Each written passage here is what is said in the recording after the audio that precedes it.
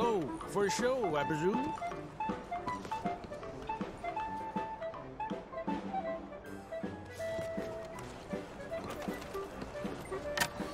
I need a ticket, please. The show will be behind in any of the doors beside the booth.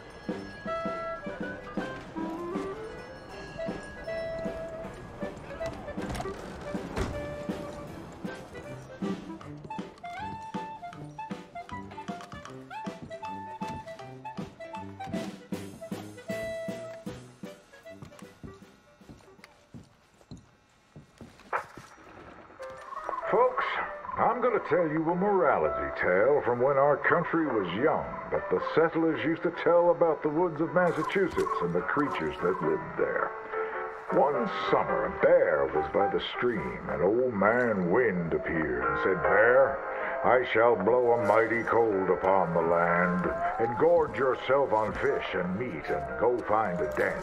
Then sleep, not for one night, but for sixty. Go tell all the animals of the forest what I have told you.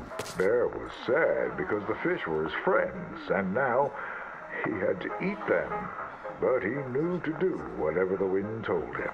The animals of the forest often teased Bear and said he was slow and lazy and foolish for listening to Old Man Wind. You're talking to the wind again, eh? laughed the rabbit. I think Bear has finally taken leave of his senses, said the turtle. And he's getting so rotund that even I could outrun him. I'm smart and quick, said Rabbit. I'll outrun Old Man Wind if he comes a calling, or you, since you're into eating your friends. The turtle said, If wind comes, I'll just hide in my shell. Then Bear went and warned Coyote and Possum that they should prepare for a long, cold winter. It's so hot, said the Coyote. There's plenty of time. The lazy Possum said, well, there's an abundance of food. Maybe I'll just store some in my pouch.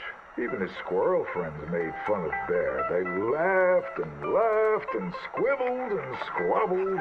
Chunky needs a nap. Fatty Goody Two Shoes does what he's told. Bear was very sad. But he was a good bear, and he always did what Old Man Wind told him.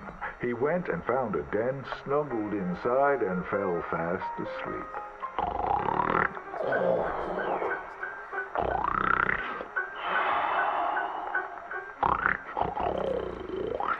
Bear snored and snored for many days. When he woke up, he saw spring had come. He was very hungry, so he walked outside. As the snow melted, he saw all his friends who hadn't listened frozen and just ready to be eaten. And that's why the bear hibernates.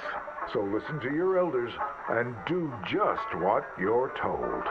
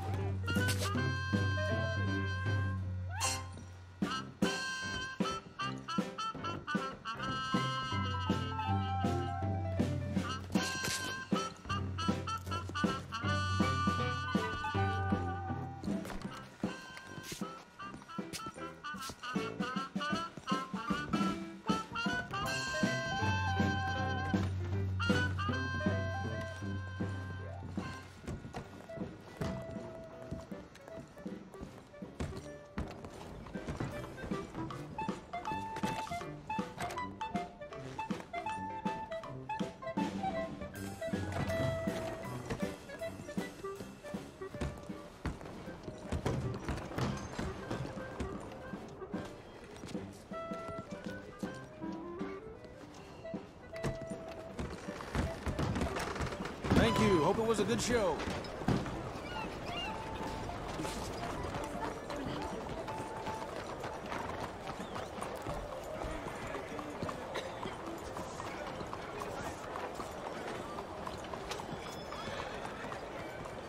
That snake wasn't it, Ben? Must have been poison. Doctor had it